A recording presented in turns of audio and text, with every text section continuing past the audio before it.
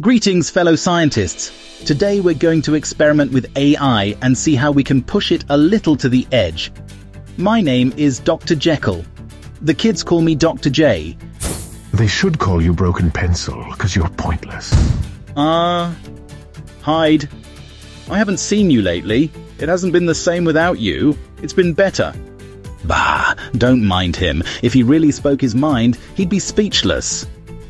Welcome to the Mindstorm channel. It's a great source of creative ideas for entrepreneurs, internet marketers, and all you curious minds out there. Give it a like. It's like eating in a fine restaurant. Dude, you're so annoying you make your Happy Meal cry. Your face makes onions cry. Oh yeah, well, you're so ugly that when you went swimming, the tide wouldn't bring you back to shore. That must have been difficult for you, exhausting your vocabulary in one sentence. Okay, enough of this tomfoolery.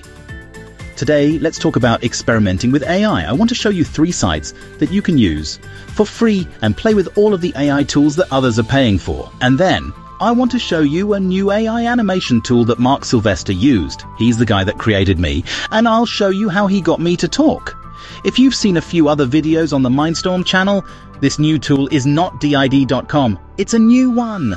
Okay, the first site on our list is a site that not a lot of others know about. You know how when you're trying to log into ChatGPT and it won't let you? It's always busy and it's sometimes more often now than ever it'll lock you out until capacity goes down a little. But take a look. If you visit platform.openai.com, you'll be able to experiment and play with ChatGPT. To get started, visit the site and click on the API link, then sign up to create an account. It's free, you'll need to provide your cell number though. Once you're in, select the playground from the top menu. You can use it just like regular Chat GPT, but this one is always available. As of the creation of this video, that is, it'll also explain code. It's a great place to experiment and see what AI will bring to the future. Yeah, like unemployment. Oh, what do you know about unemployment? All you do is sleep all day and play video games all night. Dude, if laughter is the best medicine, your face must be curing the world. Oh, haha, it must be nice, having three hours of stuff to do a week. Well, it must be nice being boring and lame. 24-7. Bah. Next, let's experiment with a few graphic images on a site called Playground AI. This site, also free, lets you experiment with image generation.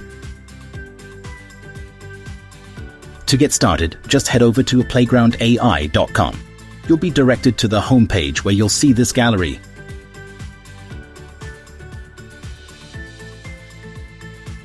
Click on this little icon and you'll be able to log in with a Google account.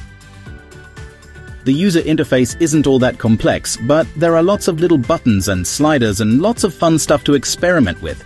Just like the other imaging generators, all you need to start with is a prompt. This one is pretty slick though. It has a little slider that'll give you more versions of your image. You can goof around with different filters to get different results.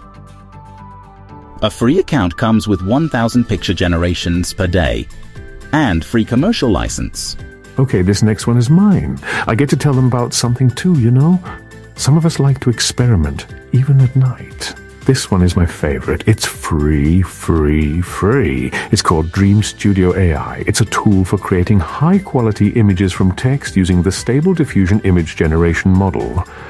It includes a user-friendly interface and allows users to experiment with credits with more available for purchase in the My Account section. It also includes an API key for generating images in external applications. All you need to provide for Dream Studio is your wild imagination. Sometimes I need what only you can provide, your absence. Hmm. okay, now I want to show you how Marc experimented with us.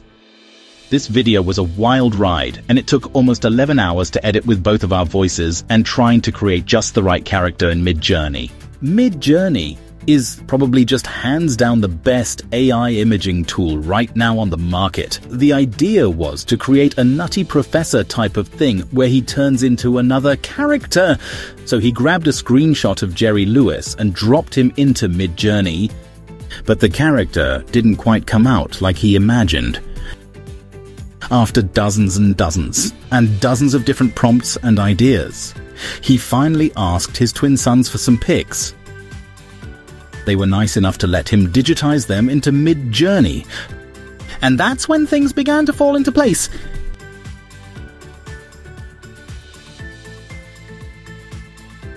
And then finally he had me.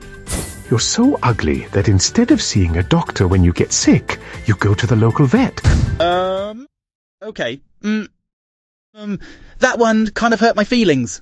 Hmm. Oh, sorry, bro. I- it's cool, dude. It's cool. And my other son was a trooper because he let me make him the villain. But it all turned out awesome. Probably blew through my monthly allotment of credits on Midjourney though on this one.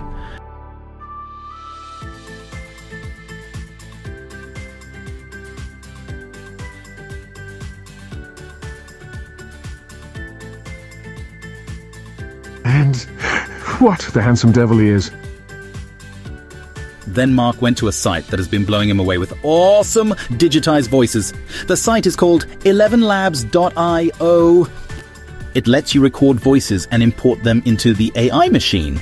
It then digitizes the voices. Oh, haha, it must be nice having three hours of stuff to do a week. You would not believe the number of voice files he had to create. And then my fellow scientists, he went to a site called movio.la.